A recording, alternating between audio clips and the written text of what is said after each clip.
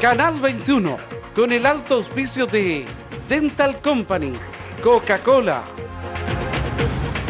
Presentan Noticias 21. Estamos de vuelta y continuamos a esta hora revisando las informaciones. La directora encargada, o mejor dicho, la dirigente del Colegio de Profesores de Ñuble, Brígida Ormazábal, se refirió durante las últimas horas a una nueva asamblea de carácter nacional en la cual participó en la capital del país. De esta manera, Brígida Ormazábal confirmó también que se trataron importantes temas relacionados a la educación. La propia dirigente, concejal Porchillán, entregó antecedentes. Bueno, fue una asamblea bastante concurrida, 192 delegados a través de todo el país.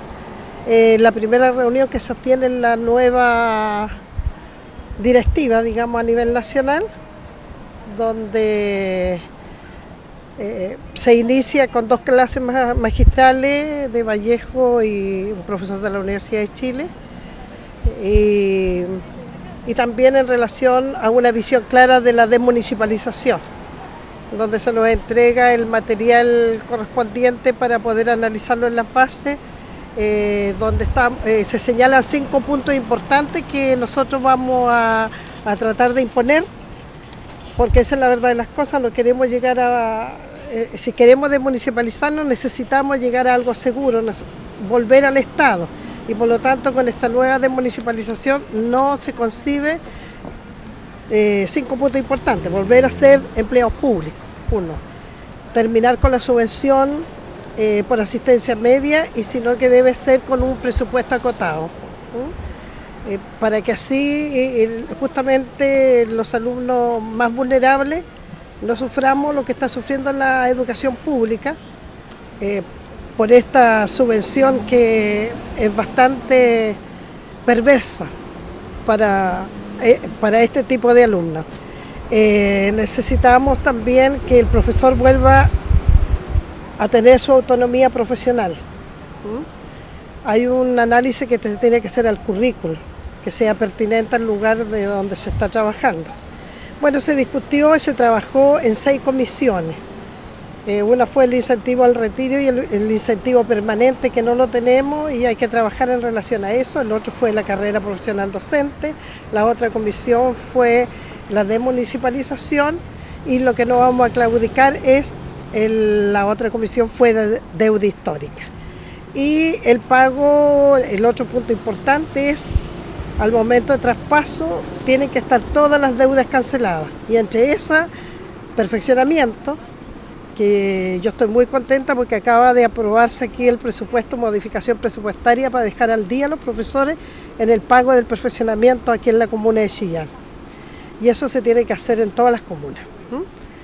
Eh, fue un poco discutida en la posición que tenemos en relación que todavía nos queda una cantidad de un 29% en una de las eh, ISAPRES, perdón, en una de las FP y se determinó que hay que venderla. O sea, nosotros no podemos estar predicando no a la AFP si tenemos un porcentaje en alguna de ellas.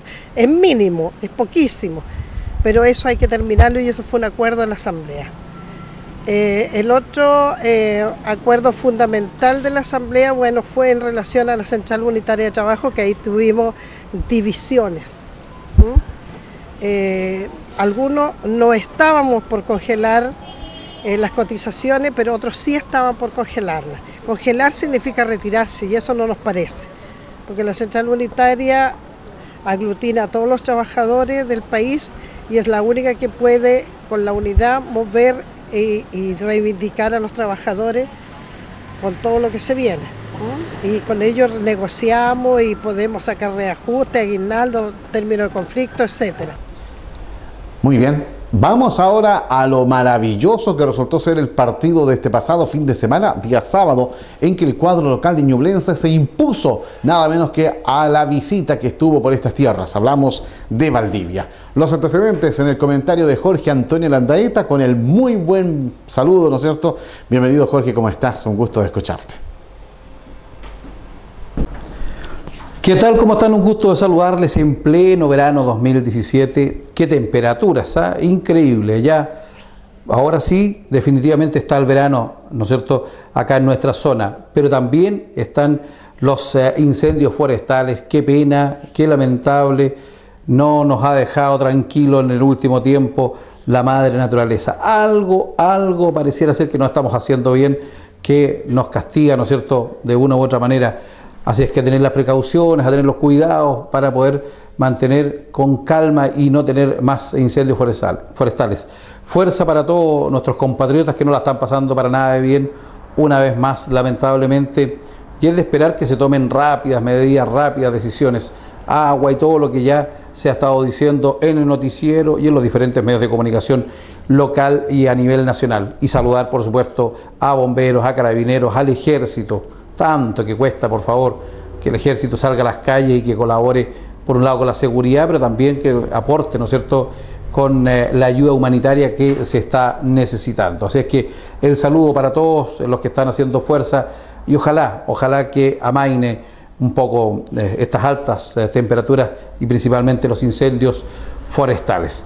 Dejemos un poquito de lado la contingencia nacional para abocarnos eh, a lo deportivo. Y en lo deportivo, la verdad es que también tanto el fútbol local, nacional, no ha estado ajeno a aquello. Inclusive veíamos algunas imágenes, por ejemplo, en el sector de Bulnes, con eh, que se estaba jugando algunos partidos del fútbol amateur y con una gran nube eh, muy cerquita ahí de la, del estadio y en diferentes sectores de nuestra ciudad, de nuestra zona, con respecto al famoso humo y los incendios forestales. Así que también han afectado al deporte en forma en general. Pero hay muy buenas noticias. Eh, primero en el fútbol eh, de las eh, Copas de Campeones, tanto el 21 de diciembre como Roberto Mateos, nuestros representativos a nivel regional, no tuvieron mayores inconvenientes para acceder a la siguiente ronda, volvieron a ganar, no hubo problema, golearon los dos, así es que 21 de diciembre inclusive 7 a 1, así que tranquilidad y Roberto Mateo también marcó una diferencia importante con los rivales de turno. Así es que pasan a la siguiente ronda, durante esta semana ya sabremos quiénes van a ser los nuevos rivales eh, de nuestros representativos a nivel regional. Ya nos tienen mal acostumbrados a eh, llegar a instancias finales, así es que el desafío es alto para ambos eh, equipos. 21 de diciembre y Roberto Mateos que están compitiendo a nivel regional. Felicitaciones para ellos. Hablemos un poquito de Ñublense porque se jugó la segunda fecha y aunque usted no lo crea, Ñublense hoy día es puntero. Sí, lo estoy diciendo de buena manera y muy seriamente. Tres equipos que tienen cuatro puntos. Ñublense, Rangers y Coquimbo. Y en ese mismo orden, la diferencia de gol. Ñublense gustó, ganó y goleó. El día sábado, 7 de la tarde, claro, nadie ni iba a pensar que iba a hacer tanta calor, pero inclusive a las 20 a nadie le habría molestado pero de todas maneras es un buen día y una buena hora para el fútbol acá en la ciudad de Chillán. A ver si la gente se reentusiasma. Me parece que las 2.200 personas que llegamos hasta el Nelson Ayarzún el día sábado presenciamos un buen partido, bien por Valdivia que vino a jugar su opción, pero mejor por Ñublense que, reitero, gustó, ganó y goleó. Hizo una presentación bastante redonda, muy maciza, bien los tres refuerzos, jugaron los tres extranjeros que llegaron en los, eh, en los últimos meses a la ciudad de Chillán Punto a favor para los dirigentes que llegaron a tiempo, los refuerzos llegaron con mucha anticipación, trabajaron de buena manera y se nota porque ya están a punto y están jugando. Punto a favor. Segundo punto a favor para Pablo Abraham, que aparentemente eligió y eligió bien. No son rimbombantes, no son grandes figuras, pero son los jugadores que él necesitaba para este esquema o para su esquema, para lo que más a él le gusta. Se sintió cómodo, de los tres él conocía a dos jugadores eh, al único que conocía es a Maynor López, a Gaspar Páez lo tuvo en Temuco y, a, y al otro chico Loncón lo tuvo en Curicó, así es que son jugadores con los cuales él eh, ya ha tratado, así es que eran, eran eh, ¿no es cierto?, jugadores conocidos para él, que ese es un punto a favor. Me parece que Ñublense hizo una buena presentación, bien en el bloque defensivo, a rato por ahí algunos desorden, quizás a Mística y, el chico Sobarzo van a tener que apurar un poquito más el tranco haciéndolo bien, pero si uno tuviera que ponerles una nota, el resto del equipo tuvo todo un 6 y ellos tuvieron un 5. O sea, no es una mala nota, pero, pero hay, que, hay que apurarlos un poquito más para que estén al nivel del resto de los jugadores. Pero bien, bien Ñublense, parecía ser que nos estamos reencontrando con el Ñublense de antaño, ese que era muy fuerte de local y que si es fuerte de local, me imagino que las próximas fechas podrán venir cosas mejores para los Diablos Rojos. ¿Cuándo juegan? Sábado, 20 horas, frente a Unión La Calera, el colista, el colista del torneo de la tabla general y principalmente. Así es que atentos con eso porque de Ñublense ganar va a recibir a San Felipe la cuarta fecha, por allá por el 4 de febrero, a la misma hora, sábado 7 de la tarde, a San Felipe como puntero. Así que evidentemente es una buena noticia eh, desde todo punto de vista, para los hinchas, para los dirigentes, para los medios de comunicación que seguimos a los Diablos Rojos. Así que la invitación está hecha para que nos reencontremos. Y finalmente, la selección chilena, la sub-20, nos está haciendo sufrir, está sumando, está sumando, pero ha costado. No está fácil, pero vamos a ver cómo se viene la mano. Contra Colombia y contra Paraguay va a definir su paso a la siguiente ronda en este sudamericano sub-20. Nos reencontramos, ojalá que amaine el incendio, los incendios y tengan o sigan teniendo unas buenas vacaciones junto a Canal 21, el canal de la región del Ñuble. Muchísimas gracias Jorge. Comentario de actualidad deportiva con Jorge Antonio Landaeta. Nosotros hacemos pausa, vamos con este resumen y volvemos con los datos del tiempo.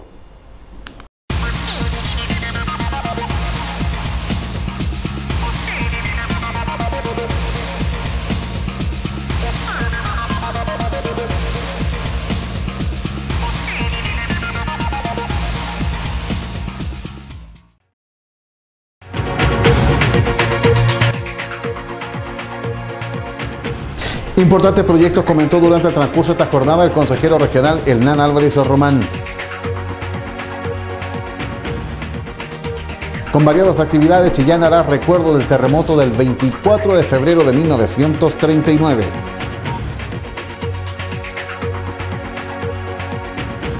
Positivo balance entregó en Tepache en su versión 2016. Y en esta edición el comentario de actualidad deportiva con Jorge Antonio Landaeta.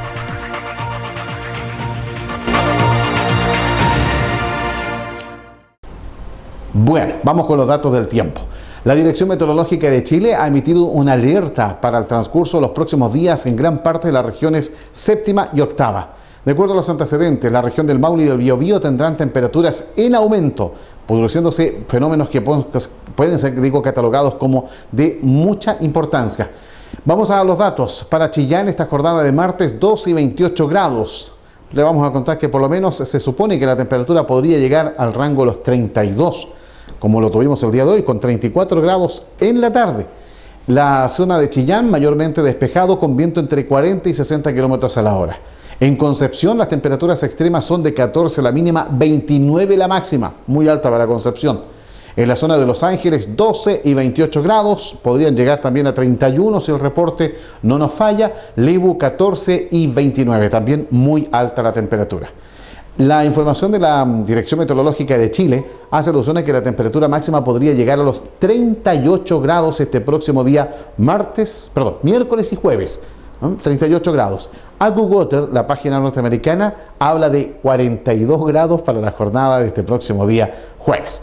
Quieras o no, altas temperaturas, un registro que preocupa, recordando toda la complicación que hemos tenido durante este fin de semana con los incendios en distintos sectores de la ciudad, siendo el más activo hasta el día de hoy en la región, lo que está pasando en Florida, donde desde hace ya cuatro días el incendio no da tregua y amenaza con viviendas, que es lo más eh, complicado. Pero no es lo único, en la zona centro-sur del territorio nacional los incendios son la tónica de este verano. Lamentable y esperemos que las altas temperaturas que se anuncian para los próximos días no nos compliquen más la existencia. Con esto cerramos la presente edición. Muchas gracias por su sintonía. Les dejo cordialmente invitados para que nos sigan acompañando a través de la pantalla de Canal 21, aquí, en este punto del día. Por su atención, muchas gracias. Siga con nosotros y hasta una nueva edición de Noticias. Canal 21, con el alto auspicio de Dental Company, Coca-Cola. Presentó Noticias 21.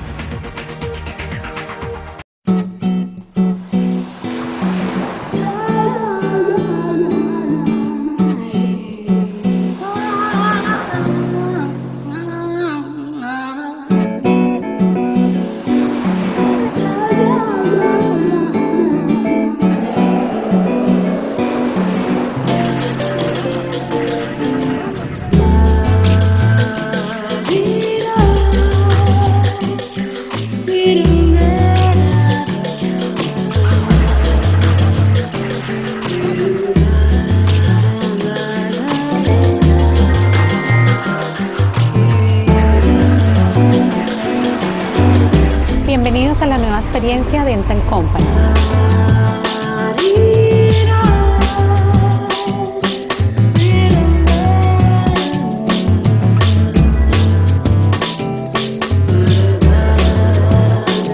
Nuestros dientes son una parte importante en todo lo que hacemos. Nos dan calidad de vida y confianza en nosotros mismos. Nos permiten disfrutar de la comida y reír tranquilamente, dándonos la seguridad de vivir cualquier situación en forma positiva y natural.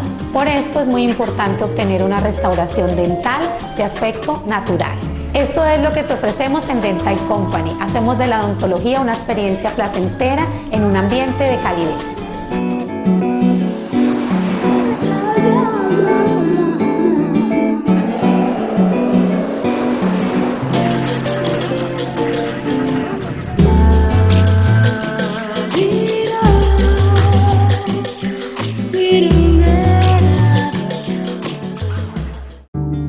Coca-Cola creemos que cada uno es feliz a su manera y se reflejan las decisiones que tomamos. Por eso queremos que siempre puedas elegir la Coca-Cola que más te gusta, el sabor original, o las cero calorías de un sabor auténtico, o un sabor liviano y sin calorías, o nuestra opción bajas calorías, endulzada naturalmente con stevia y azúcar. Cada uno elige la felicidad a su manera y nosotros te ofrecemos una Coca-Cola especial para ti, porque solo queremos que nunca dejes de ser feliz. Elige el color de la felicidad. Elige tu Coca-Cola.